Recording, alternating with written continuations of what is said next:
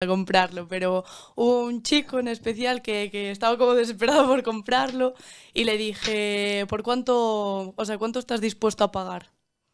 Y Y, un, menudito. y ahí fue donde, donde me dijo, te doy euros.